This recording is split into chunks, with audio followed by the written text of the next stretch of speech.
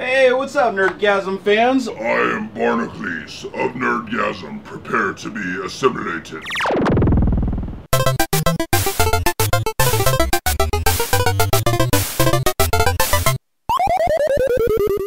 Alright guys, well as you might have guessed, we're playing with lasers tonight. And not just any lasers, we're playing with a Wicked laser. This is a new laser I just picked up. It's the from the Nano series. And it comes in a really, really, really nice pouch here that you have. It has a utility belt clip right here that's Velcro. And it snaps, so you don't lose your laser when you're out in the wilderness pissing off squirrels and stuff. Um, it's actually really, really nice and high quality. And then here's the laser itself um, by Wicked Lasers. And I was actually impressed. It's actually a pretty hefty laser. Everything on it's metal, which is what I'd expect from a laser of this caliber. And it says right here on the sticker, it says uh, it's less than 500 milliwatt, uh, 532 nano nanometer uh, for the light. And it says it's a class 3B laser product. So, and it's the green laser. And it says don't shine it at aircrafts or shine it in your eyes. Come on, guys, you should be smart enough to know that, right? Um, and honestly, you should wear eye protection, but they didn't send me any eye protection when they sent me the laser, so I'm not going to be using eye protection. But I promise not to shine it at anything shiny and burn my eyes out. And if I do, you guys can laugh hysterical at me and leave comments saying how much of a noob I am. But anyways, taking a look at this right here, it's actually really cool. It's textured. Um, it's got like some cross grooves in it and stuff, makes it really easy to hold. It has a momentary switch on it. If you break the laser down, it has a UV filter or an IR filter. I can't remember. I think it's IR. It has an IR filter on it. Um, I did a little reading online. Don't take that off. Don't. Because uh, I was thinking about taking it off. I was like, oh, maybe I can get something to burn because I couldn't really get anything to burn very well with this. So I was like, oh, maybe I'll just take that off. No, don't take that off because it'll expose you to light you don't see that's going to do damage. Um, but the host itself is all metal. Feels like it's made out of aluminum. I'm pretty sure it is. But the cap there, if you take off, you saw I showed you the filter. If you flip around the other end, this cap comes off right here. This is the end of the battery compartment. And you can even unscrew the end off this. And there's two little screws down in there that you can hook a switch to. So if you want an external switch, like if you want to permanently mount this uh, for a scientific experiment or, uh, I don't know, pick your poison, uh, you can do that. And I thought that was a pretty cool feature.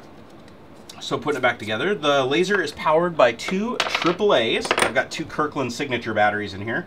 Woo, no, I didn't find the Duracells. so um, one thing to note with this laser is you do have to put the batteries in what I would consider backwards. The positive facing towards the bottom, not like a typical flashlight.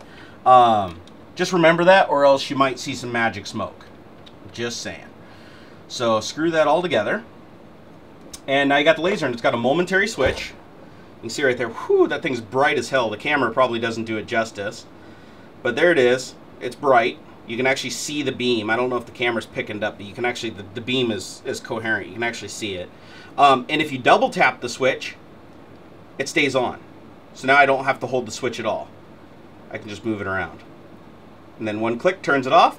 If you hold it, it stays on until you let go. Two taps and it stays on. So I actually like that. I think that's pretty cool.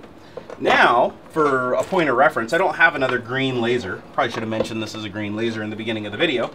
And they do come in multiple different colors. I just chose green.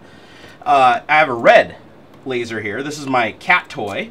And this one on the back of it says, uh, max output of less than 5 milliwatts. And it's 650 nanometers. So if you look at this one, this kind of give you, I guess, a little bit of contrast. So there's, there's my little red dot.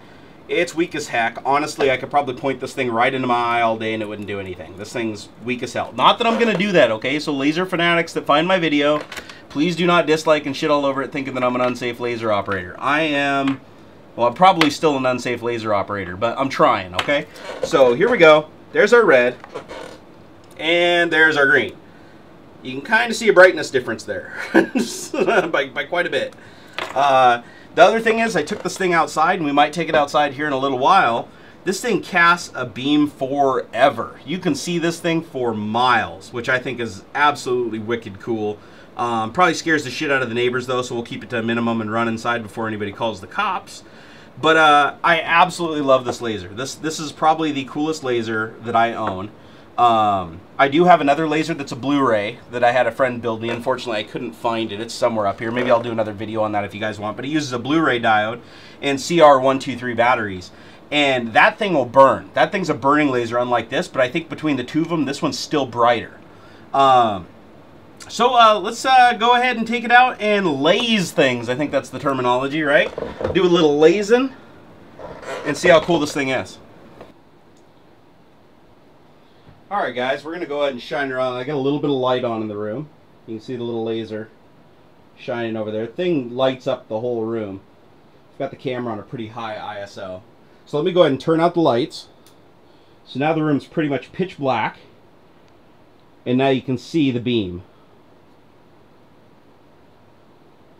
There's no fog or smoke in this room. See the beam and I'll shine it at the light light bulb. It's a fluorescent light bulb. You can see it lights up the entire room. It's actually really, really freaking cool. Let me see if I can find the red one for comparison. Okay, so here's the red one, guys. Can you see that?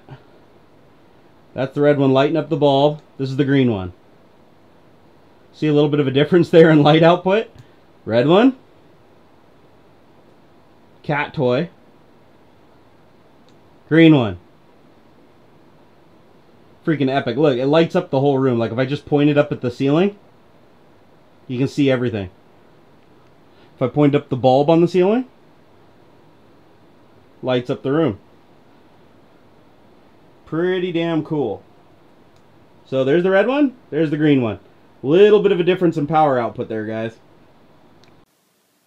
Alright guys, now we're standing outside of my house here. Can't see anything, it's really dark alongside it, but I'll turn on the little red laser pointer. I'm pointing at my shed down there. See that little dot down there? That's my shed. It's about, I don't know, let's say 50 feet away. So you can see the dot. There's the dot on the grass. And there it is on my foot. Kind of gives you an idea. And then here's the green. I can completely see the beam. I don't think the camera's picking it up, but the beam, let's see if we can get it on there. I, I can completely see that beam. It's like a solid bar of light. And that one I'm not going to put on my foot. There's my car. I mean, you can see it lighting up the yard.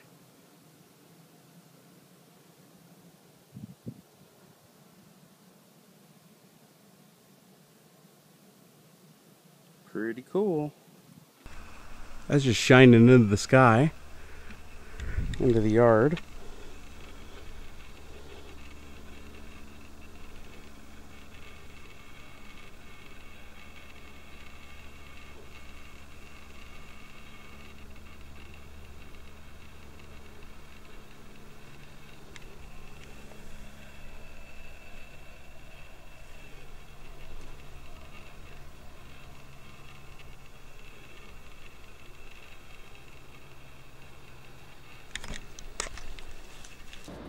Alright, well hopefully you guys got an idea of just how powerful this laser is.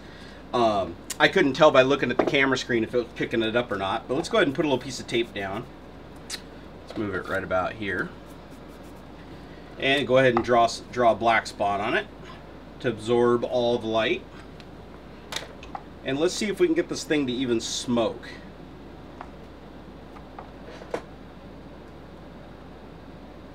Pretty bright. I can't look directly at it, so I'll just have to watch the camera afterwards.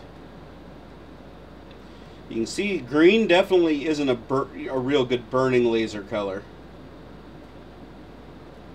But it is bright as hell.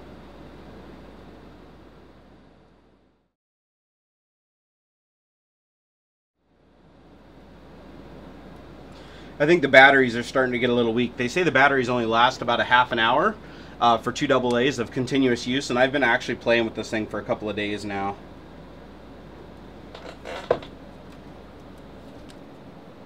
No damage. So if you want a burning laser, green's probably not the color to go with. But if you want a laser that's really brilliantly bright and is highly visible outside, this thing is awesome.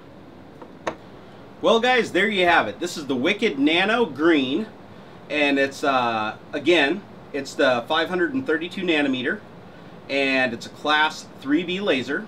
Thing's solid metal construction, heavy duty with the batteries in it. Nothing rattles around. It's uh, it's a solid laser, and uh, it's bright as hell. I hope the camera can do it justice because I took my just put it this way. It was so bright when I took it outside and shined it up in the side. The laser looks like it just goes straight into space. But it was so bright when I went outside. I went in the house and got my wife and had her come outside and look at it, and she was even shocked at how bright it was. Um, but for some reason, looking at the viewfinder on the camera, I couldn't see the laser beam, and I couldn't figure out why my human eye can see it so much better. But outside, I mean, it is bright as hell, dude. It's like you're swinging around a freaking lightsaber. I'm surprised the neighbors and shit didn't come after me for it. But anyways, guys, I'm going to wrap this up. Again, this is uh, the Wicked Lasers Nano. I will put a link down in the description if you guys want to go get more information on it. Uh, it's a fantastic laser. It's obvious that Wicked Laser is uh, definitely paving the way for some really, really high quality consumer lasers.